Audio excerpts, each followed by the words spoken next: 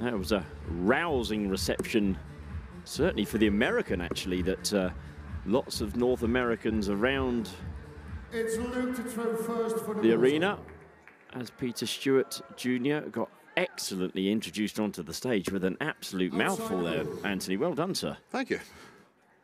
Well, he's- There wasn't a lot. In fact, would it have been easy to say what he hasn't won? Uh, I think it probably would be, yeah. Please welcome the winner of Near Enough Everything. First Yes. line Peter first. Peter Stewart, the Beast.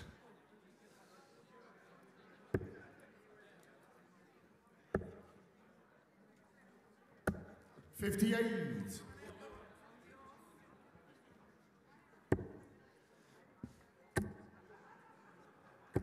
Sixty. We were commenting yesterday, or certainly I was commenting yesterday on uh, Peter Stewart Jr. was playing a young man from the Netherlands.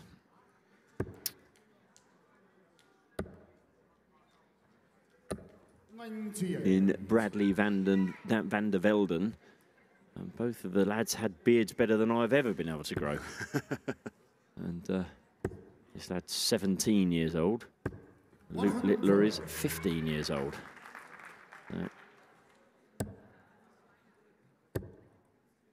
Luke Littler started his campaign in the group stage. The boys, World Masters, defeating Peyton Hammond 4 2, Demi Cybrands 4 2, and Peter Hoffman 4 0. Last 32, Alexander Steinmetz 4 2, Yorick Hofkins in the last 16 4 1, Andras Borbelli of Hungary 4 3 in the quarters, and then young Mate Rejon of the Czech Republic 5 0 in the semi final. Forty-two. Luke, you require one hundred and forty-six.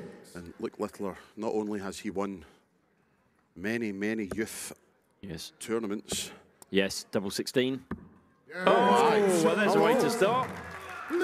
Flexing the muscles there with the 146 outshot. Second line against Outstanding. Luke to throw first. Game on. it's not only does Luke have many youth titles in the bag, he also is the reigning Welsh Open men's champion Twenty-six. and was last year's Irish Open champion. He also won the Romanian Classic this year. He certainly was. A Romanian, Romanian classic defeating Jelle Klaasen as well. Hmm.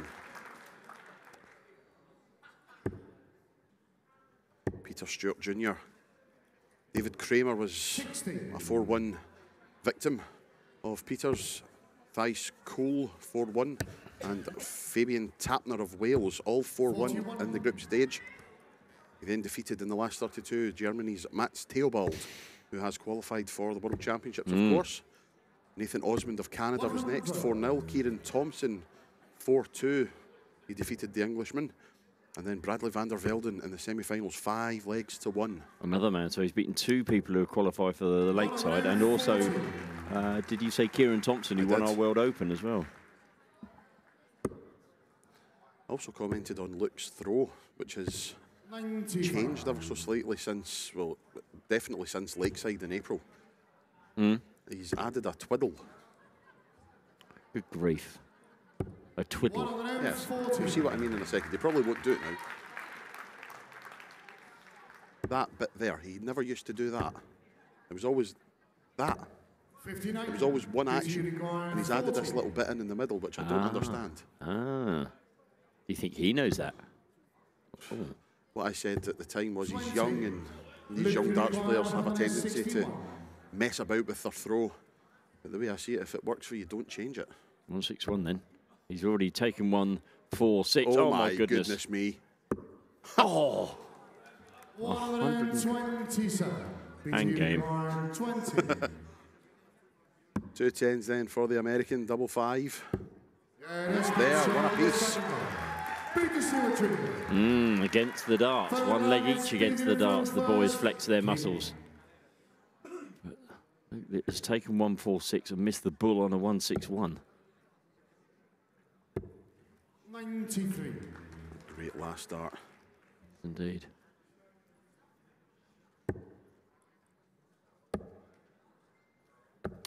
Two finals to come after this. We have the ladies' final. England's Bo Greaves takes on Almudena Fajardo of Spain. 30.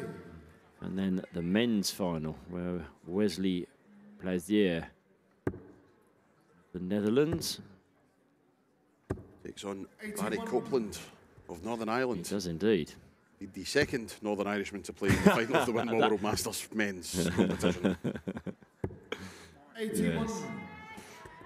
Those of you who weren't here 10 minutes, 15 minutes ago, Anthony announced that Barry was the first man to get a raft of plethora of text messages. Well, one, Yeah, one. one message that said, no, no, no, Mr. Dundas. Please correct yourself. One message from the one person that I knew, Would, would Call not, me out on it. and that is our master statistician, Richard Ashdown. Good evening, Richard. 43. Hope you're enjoying the coverage. To be fair, I'm actually surprised I didn't get a look from Jacques. He's usually quite good with that sort of thing. A little bit busy though. Yeah. 97. So look back on 200. Yeah, having won the first leg in pretty, well, obviously amazing 146 outshot, but 90. In good style. The American needs tops to go 2 1 in front. Yes, he was worried about that, that might happen, and it did indeed happen. So now he needs 10s, and he's unlucky. Luke Now, Luke, 110. Looking at the 19s, he's hit the 19, he's gone for 13 and tops, and he's missed the tops. But a second player that we've had today playing on the 19s and the 17s on 110. Double seven. Six. No. So for a third consecutive break of throw in this mm. match, Luke the Nuke, Yeah, that's came short in the first. ranked number one in the boys category in the WDF World Rankings. These are Luke the Peter front Stewart first. ranked number Peter. three.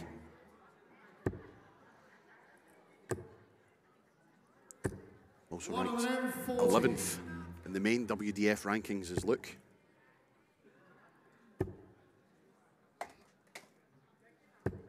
One hundred. Anthony's just seen why I don't play darts from about one inch I'd missed putting my cup in the correct place. Knocked everything over on the table.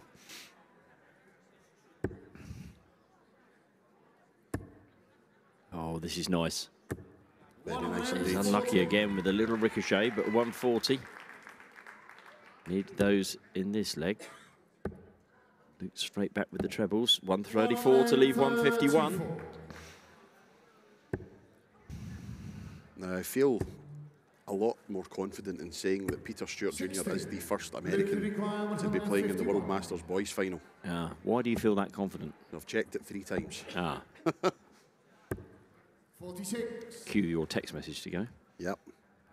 The winner of this, of course, takes the crown. Treble 19 here. Oh, 177 to leave two 12s. Luke requires 105 105 then to hold his throw. Treble, eight- treble, 18, treble 15, yes, tops. Yeah, Oh, yes. Short in the fourth now. Luke Littler. You at the 177, I don't mind. I'll take a 105. That's a 105 and a 146 for Luke Littler in this particular match. Irish Peter in front first. He's 15 years old. Nonsense. The winner of this, of course, takes the crown of Winmau World Masters Boys Champion from Keane Barry, the Irishman winning it three years ago. Defeated Charlie Manby in that final. 100. That was Keane Barry's third consecutive appearance in the World Masters Boys final. Lost the, the two previous, 2018 to Jurjen van der Velde 55. and the year before to Germany's Nico Blum. Ah, yes, I remember. I remember the Nico Blum game, yes. The winner of this joins illustrious company that have won this title. The three aforementioned Houston Van der twice champion Colin Roelofs, Sean Lovett, Jeffrey de Zwaan, of course, and back in 2012. Jimmy Hendriks, Reese Robinson, Jamie Lewis, Sean Griffiths, going all the way back. 57. Sean McDonald winning it in 2002. Indeed, it's his 20, 20 year anniversary, Sean, and he's here today, uh, or here this week, playing in the seniors. He'll be playing in the world qualifier 83. tomorrow. as will the 2002 girls champion Lindsay McDuck, Lindsay Ward, Mm, as she is now. She's also here. She'll be playing. 97. Keeps finding these trebles, Luke, to get himself out of the little bit of a hole that he was in there. But Stewart coming back. Oh, yes, 19 here. 139 to leave tops. Can Take nothing for granted when Luke Littler's on a finish. See He'll what I mean? Oh, my goodness me. He'll be sitting here thinking, Oh, oh, my God. no. No. way. Oh, 31. That's it. I'm going home. I think Peter Stewart would have just taken his shirt off and just said, I waved the white flag at that, would he Yeah. not? That is a brilliant marker. Oh, he's got he sneaked it in the corner. Peter Stewart Six lagers, Luke the throw first. Game on. 3 2. Luke Littler averaging 89 and a half. Peter Stewart 82.7. 140. Absolutely magnificent standard from these two youngsters. 100. The ton from the American, the Beast, against the Nuke. Who wins in a Beast versus 61. Nuke? The, hmm. the Nuke just sounds a bit more powerful. Yes.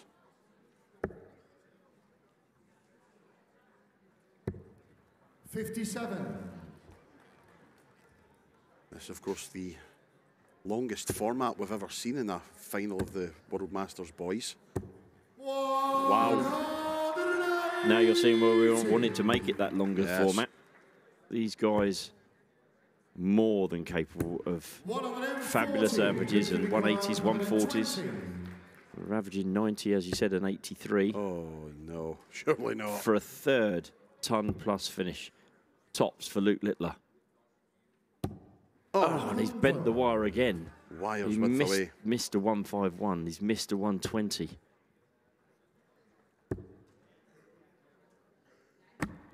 Oh, 80. 80 floor. Luke, you require Double 10 then for Luke for a 4 2 lead. And a good 4-2 lead it is. I'll tell you something, Keane Barry three years ago averaged 91.44 when he won that title, and that average It's under threat, isn't is it? under threat big mm. time. 93, Luke Littler's current average.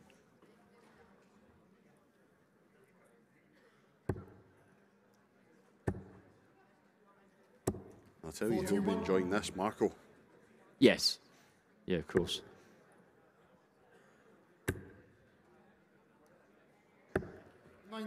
Good last, as they say. Just off with 41 in the first row, and he's found the one again, but he's straight back in the treble now, and it- that rectifies that. Thank you very much. 11 points in front. Was. Great darts, Peter Stewart Jr. Back comes Littler. One hundred. Anybody's cool in this leg. Stewart needs a treble, really. Coming down. Or is he? He's got to have a think about this because he's got to be careful. Ah, well, the three rather messes things up, although that's got him out of that hole. Great last start. Risky last start. Mm. Maybe should have plonked one in the 25, but he's hit the 54, so Peter, you 138 for Peter Stewart Jr. Two treble 19s, not to beat. 76 leaves 62, so treble 10. Eighty-six. He'll be back for 52. Will Luke be. back, 183. Needs to pressurise. Another one of those. Yes. One Oh. hundred forty. Well, that's Peter, put you the different require complexion on this 52. 52. Just hit finds the 20. Definitely finds the double 16, and it's 4 3. Peter Stewart Jr. And uproar in the crowd. Mm. The throw first. The game we were hoping for. 93 plays 85 on the averages. I just spotted in that wide shot there, Robbie Phillips leading the American cheers. One hundred. Had a thoroughly good interview with Robbie yesterday. A bit of a chat around how he found things, bearing in mind that he's been to the Masters on a number of occasions. And One hundred forty. 135, 140 to kick this leg off for Littler. Obviously, doesn't fancy giving his throw away in this leg. And uh, yeah, Robbie, Forty-five.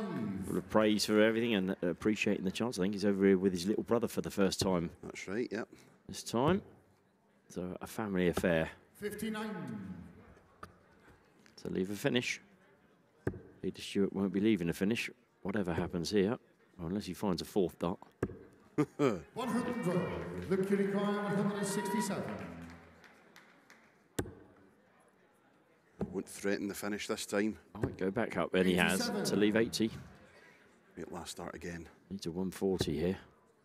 It's nicely placed, but he, yeah, it's just been dropping a little bit low. That's a good dart. Luke Urquhart, Outside chance. We've seen the 156 missed for the match earlier on by Kay Schmidt, but double 10 for Luke Littler. Double five for a 5 3 lead. 75. Ooh. Well, Peter Urquhart, 156. Interesting times. stays there to leave 56 if you can. Ah, yes, he saw him smack himself in the head there. He knows what he's done. Make sure of the one. Good grief. Oh. So 115 then for Peter. 115. Kicking himself and not leaving 96. Treble 19 would left would have left double 19. That's a great last start though. Luke Urquhart, 4. So double two. Move within one. Yeah, that's good Double shot one to the eight. converted. Luke Look, Littler's on the hill. Nine lagers, Peter to throw first. Five three first to six. The average now 90.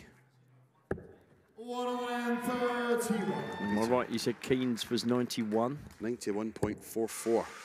Maybe just pop out and tell Luke you need to do a, a 12 there or 15.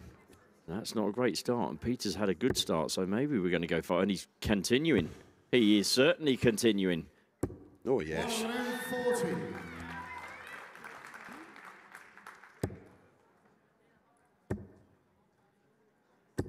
140. Oh yes, yes.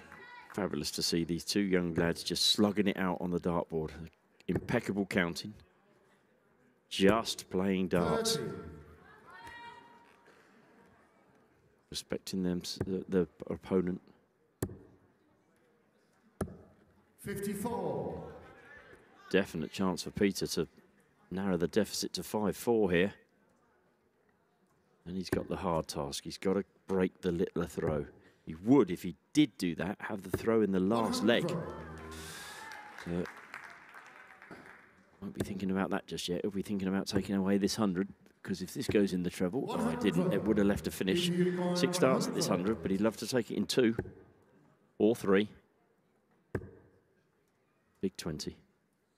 Moves well round to. Oh, okay. 40. That was a safe dart. Not the worst thing in the world. It was safe. It's a nervy dart if 77. 97. Peter So 20 for tops for 5 4. Oof. well, Just a little bit too close for comfort, but tops. that's an excellent marker.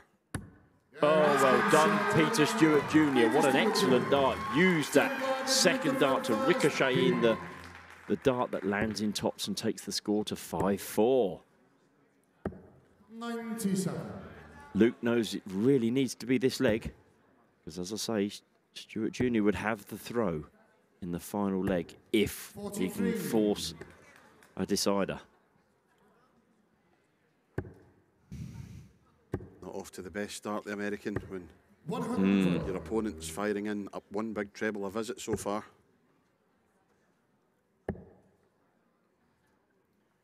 Quick reminder 39. Bo Greaves against Almudena Fajardo is our next Winmau World Masters final as Luke Littler looks to fill up. Disgraceful, didn't leave a finish. I know, terrible. He'd be ashamed of himself. we'll be back for 169 to Good darts, good darts, Peter. darts. Not giving up. Just a little knock on the door there just to say, I'm still here. And a little chance here. Another 140 makes it interesting. Not to be, but he's coming down. 59. Luke Urquhart, So 124. 124 then for the Winmau World Masters Boys title, treble 18. Stay there. He's found the treble 18 to leave 32. And that is an awkward one. Now, he's very unlucky with the last two, but was that his last dance in this Winmau World Masters final? Double. Luke Littler. 16. First time of asking, and Luke Littler of England is the Winmau World Masters Boys Champion for 2022. Outstanding stuff and an average of 90.06 at the end of Ladies and gentlemen, show your appreciation. We will see them back at the presentation. Your runner-up, Peter Stewart Jr. and the Winmau World Master Boys Champion, Luke Littler. Well said, Marco Meyer. They will be back on stage for the presentation soon. But Luke Littler, as I say, is your 2022 Winmau World Masters Boys Champion, and we will be back in a couple of minutes with our ladies' final, Bo Greaves and Almudena Fajardo.